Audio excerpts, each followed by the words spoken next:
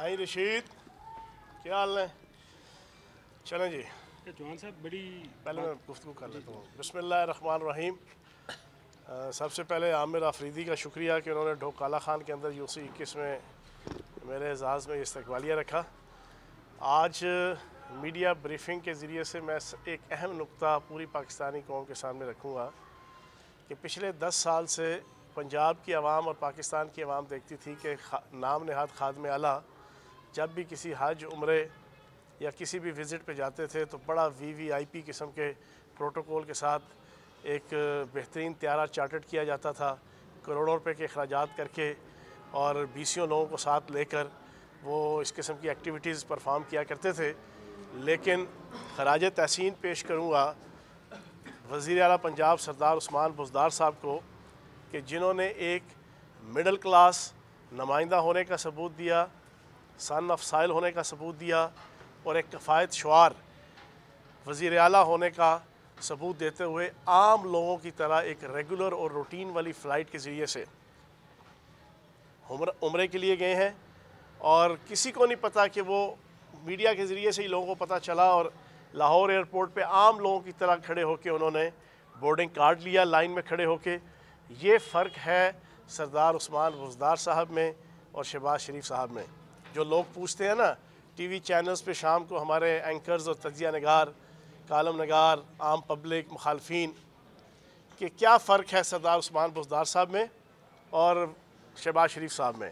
تو یہ فرق ہے جناب والا کہ سردار عثمان بزدار صاحب عام لوگوں کی طرح زندگی بسر کرتے ہیں اور انہوں نے عمرہ کر کے بھی اپنی فیملی کے ساتھ اپنے خرچے سے، سرکار کے خرچے سے نہیں، اپنے خرچے سے عام روٹین کی فلائٹ کے میں سوار ہو کر وہ پاکستان سے جو ہے وہ سعودیہ گئے تو میں انہیں خراج تحسین پیش کروں گا۔ عمران خان صاحب کی قیادت میں بڑی اچھی روایت انہوں نے ڈالی ہے۔ دوسری چیز، پچھلے کئی دنوں سے آل شریف، محترمہ مریم نواز صاحبہ اور آل شریف کے ذاتی معالج ڈاکٹر عدنان صاحب ایک جھوٹا پروپیگنڈا کر رہے ہیں۔ یہ سارے مل کے جو ہے وہ نواز شریف صاحب کی صحت کو، نواز شریف صاحب کی بیماری کو سیاسی مقاصد کے لیے استعمال کر رہے ہیں۔ اور الٹا چور کوتوال کو ڈانٹے کے مزداق ہمیں یہ کہتے ہیں کہ ہم جو ہے وہ ان کی صحت اور ان کی بیماری کے اوپر جو ہے وہ پالیٹکس کر رہے ہیں۔ ہم نہیں کر رہے۔ آپ ذرا اپنا رویہ دیکھیں۔ پہلے آپ نے کہا پندرہ جنوری سے لے کے دو فروری کے درمیان چار میڈیکل بورڈ پنجاب حکومت نے بنائے ہیں۔ چار میڈیکل بورڈ، آپ کی مرضی کے، آپ کی منشا کے۔ چاروں کے رزلٹ آپ نے تسلیم نہیں کیے۔ چاروں میڈیکل بورڈز کے مطابق نواز شریف صاحب کو گردے میں پتھری ہے اور دل کے حوالے سے جو ہے وہ وہ بیماری ہے کہ جو ساٹھ سال کی عمر کے بعد تقریباً ہر اس فرد کو ہو جاتی ہے جس کو شوگر یا بلڈ پریشر ہوتا ہے۔ اور ڈاکٹرز نے چاروں میڈیکل رپورٹ کے مطابق ڈاکٹرز کا کہنا یہ ہے کہ ان کی یہ بیماری اس کا علاج پاکستان کے اندر بڑے احسن طریقے سے ہو سکتا ہے۔ اب آپ نے پہلے ضد کیا کہ جیل سے جو ہے اسپتال لے کر آؤ، ہم لے کر آئے، پورے پروٹوکول کے ساتھ لے کے آئے، عزت احترام کے ساتھ لے کے آئے، پورے وقار کے ساتھ لے کر آئے، پورے چھپ چھپا کے ساتھ لے کر آئے۔ وہ الگ بات ہے کہ آپ نے ہسپتال آتے ہی سب سے پہلے سموسے، بڑے گوشت کے شامی کباب اور پکوڑوں سے جو ہے وہ اپنی توازو کروائی۔ دنیا ساری حیران ہوگی کہ یار یہ کیسا دل کا مریض ہے کہ جو آتے یہاں پہ آ کے جناب، بڑے گوشت کے شامی کباب کھانا شروع ہو گیا اور پکوڑے، سموسے۔ لیکن پھر بھی ہم نے پورا پروٹوکول دیا آپ کو۔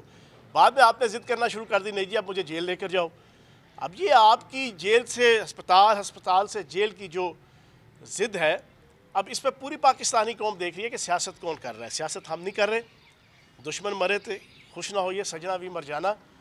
ہم جناب عمران خان صاحب کی قیادت میں اور سردار عثمان بزدار صاحب کی قیادت میں باوجود اس کے کہ آپ قومی مجرم ہیں باوجود اس کے کہ آپ نے پاکستان کے خزانے کو حلوائی کی دکان پہ نانا جی کی فاتحہ کے مزداق لوٹا ہے، باوجود اس کے کہ آپ نے پاکستان کے خزانے کو چکو چک گنڈیریاں ادیاں میریاں اور باقی ادیاں بھی میریاں کے مزداق لوٹا ہے۔ باوجود اس کے کہ آپ نے رام رام سپنا پرایا مال اپنا کے تحت پاکستان کے خزانے کو، پاکستان کے اسٹیٹ بینکوں کو، پاکستان کے تمام بینکوں کو آپ نے پچھلے چالیس سالوں میں اس طرح لوٹا ہے کہ جس طرح ڈاکو بھی جو ہے وہ کھلے عام پڑی ہوئی چیز کو بھی وہ نہیں لوٹتا۔ لیکن کیونکہ آپ تین دفعہ وزیر اعظم رہے، آپ ایک پولیٹیکل پارٹی کے اس وقت جو ہے وہ ایک سربراہ ہیں، قائد ہیں، تو ہمارا فرض بنتا ہے کہ ہم، آپ کی طرف سے کوئی شکایت نہ آئے۔ تو میں ڈاکٹر عدنان صاحب جو ذاتی معالج ہیں، ذاتی جو معالج ہوتا ہے اور جو ذاتی چیز ہوتی ہے، وہ ذاتی ہوتی ہے۔ چاہے وہ ذاتی ملازم ہو، چاہے وہ ذاتی معالج ہو، چاہے وہ ذاتی مراسی ہو، اس نے تو جو ہے وہ ذاتی چیز بات کرنی ہے۔ اپنے مالک کے حق میں بات کرنی ہے۔ تو ڈاکٹر عدنان صاحب سے بھی میری گزارش ہے کہ آل شریف کے کہنے پہ آپ بھی اتنی سیاست نہ کریں۔ انشاءاللہ ہم آپ کو فل فلیج پروٹوکول کے ساتھ آپ کی پروسیکیوشن بھی ہم نے کروائی۔ جیل کے اندر بھی آپ کو ہم نے عزت اور احترام کے ساتھ اکیلے کمرے میں رکھا ہوا ہے۔ اس پہ اوپر بھی انہوں نے پرسوں ٹویٹ کیا۔ کہتے ہیں جناب، قید تنہائی میں رکھا ہوا ہے۔ اب میں آج آپ کی اس میڈیا بریفنگ کے ذریعے سے پوری پاکستانی قوم سے پوچھوں گا ایک کمرے کے اندر پورے احترام کے ساتھ، عزت کے ساتھ، پورے پروٹوکول کے ساتھ، سہولیات کے ساتھ، وسائل کے ساتھ آپ کو رکھا ہوا ہے۔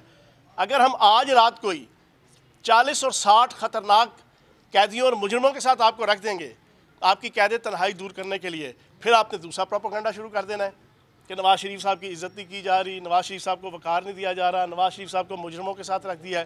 تو یہ کسی سائٹ پہ بھی نہیں ٹھہر رہے۔ نہ بیماری کے حوالے سے، نہ صحت کے حوالے سے، نہ جیل کے حوالے سے۔ تو جناب، گزارش یہ ہے کہ اصل آپ کی جو دل کی بات ہے نا، وہ کہتے ہیں نا کہ دل کی بات کہیں لب پر نہ آ جائے۔ وہ لب پر جو بات آ رہی ہے، وہ یہ ہے کہ لندن جانا ہے، پتلی گلی سے جانا ہے، یہاں سے نکلنا ہے۔ تو جناب، یہ خواہش ہم نہیں پوری کر سکتے۔ آپ کا علاج کرائیں گے، دل کا بھی، سینے کا بھی، شوگر کا بھی، پتھری کا بھی، سب علاج انشاءاللہ پنجاب کے اندر اچھے سے اچھے اسپتال کے اندر اور جیل کے اندر ہم کروائیں گے۔ شہباز شریف صاحب کو چیئرمین پی ایس اے کے عہدے سے ہٹا رہے ہیں۔ دیکھیں جی ہم تو نہیں ہٹا رہے لیکن اگر رتی برابر بھی کوئی شرم و حیا کی دوائی انہوں نے لی ہو یا شرم و حیا کا شربت پیا ہو تو انہیں خود جو ہے وہ چھوڑ دینی چاہیے۔ آپ کو یاد ہوگا نا پچھلے دس سال سے وہ خواجہ آصف صاحب سیالکوٹ والے وہ انہی آل شریف کی سرپستی میں شرم و حیا کا دواخانہ کھول کے اسمبلی میں بیٹھے ہوئے تھے۔ ہر مہینے کوئی نہ کوئی جو ہے نا وہ شرم و حیا کی دوائی کیپسول اور انجیکشن اور ٹیبلٹ جو ہے وہ بیچا کرتے تھے۔ تو اب میں پوچھوں گا جناب کو شرم و حیا کا آپ بھی ثبوت دے دیں آپ پہ کھربوں ڈالر کی کرپشن کا الزام ہے اور آپ پی ایس سی کی چیئرمینی کے ساتھ اس طرح چمٹے ہوئے ہیں کہ چمڑی تو جائے پر دمڑی نہ جائے۔ تو آپ کو خود چاہیے کہ شرم و حیا کا ثبوت دیں اور ریزائن کر دیں۔ چوہان صاحب، یہ جو پی ایس سی کے اوپر ایک بحران پیدا ہو رہا ہے، نظر آ رہا ہے کہ مستقبل میں کر رہے ہیں اگر شہباز شریف کو چیئرمین شپ سے ہٹایا جاتا ہے تو اپوزیشن باقی قائمہ کمیٹیوں میں سے اگر الگ ہو جاتی ہے تو کیا صورتحال پیدا ہوگی گورنمنٹ کے لیے؟ دیکھیں، دو چیزیں ہیں۔ چیئرمینی سے ہٹایا جا سکتا ہے دو بنیادوں پہ۔ یا تو پی ایس سی کے جناب ممبران کثرت رائے سے فیصلہ دے دیں ان کے خلاف تو وہ ہٹ سکتے ہیں، یا عدالت فیصلہ دے دے۔ اب ان دونوں صورتوں میں میں نہیں سمجھتا کہ یہ کوئی قیامت برپا کر سکتے ہیں، قیامت نہیں برپا ہو سکتی انشاءاللہ۔ قیامت برپا اسی وقت ہوگی اور ان کے لیے قیامت برپا ہو چکی ہے۔ آل شریف کے لیے۔ ہر روز جو ہے وہ ایک نئی قیامت برپا ہوتی ہے آل شریف کے لیے۔ ان کی کرپشن، بدیانتی، گنڈا گردی کت و غارت گری، اس کے اوپر نیا نیا کیس کھلتا ہے۔ اور اب مزے کی دار بات یہ ہے کہ آل شریف کے جتنے ہواری ہیں نا، سارے نجومی بن گئے ہیں۔ پرسوں رانا ثناء اللہ صاحب نے اپنا نجوم پنا دکھایا، کہتے ہیں جی یہ ہو جائے گا چودھری پرویز لائی صاحب پکڑے جائیں گے، پچیس افراد میرے ساتھ ایم پی ایس رابطے میں ہیں، حکومت غائب ہو جائے گی، حکومت ٹوٹ جائے گی۔ تو میں نے پرسوں بھی ایک ریکویسٹ کی تھی رانا ثناء اللہ صاحب، تھوڑا سا نجوم پنا اپنے متعلق بتا دیں، یہ جو جے آئی ٹی بنی ہے، اس جے آئی ٹی کے بعد جو آپ کی چھتر پریڈ اور لتر پریڈ شروع ہونی ہے، وہ کس انداز کی ہونی ہے؟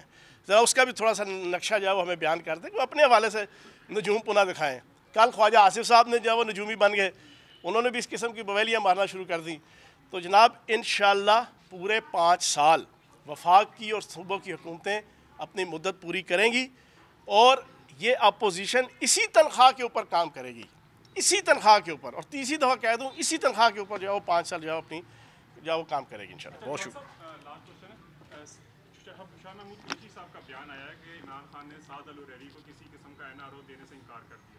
کیا ہمارے دوست ممالک شریف فیملی کی رہائی کے لیے کوشش کر رہے ہیں یا کہہ رہے ہیں کچھ ایسا؟ دیکھو جی میرے پاس تو ایسی کوئی انفارمیشن نہیں ہے۔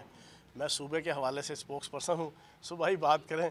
ان چوروں لٹیروں کے حوالے سے بات کریں جن کا صوبائی سطح پہ احتساب ہو رہا ہے یہ وفاقی اور عالمی سطح کی بات جو ہے نا وہ آپ کسی وفاقی وزیر سے پوچھ رہے ہیں این آر او تو جناب یہ تڑپ رہے ہیں۔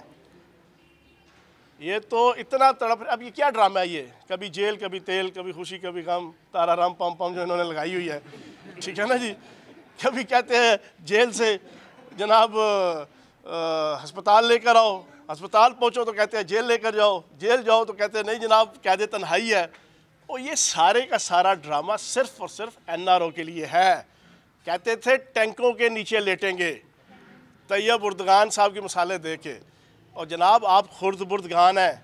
خرد بردگان کے منہ سے طیب اردگان اور یہ خرد بردگانوں کے منہ سے ٹینکوں کے نیچے لیٹنا جو ہے نا وہ اس کی زبان سے زیبا ہی نہیں دیتا۔ اپنے گربان کی طرف دیکھو۔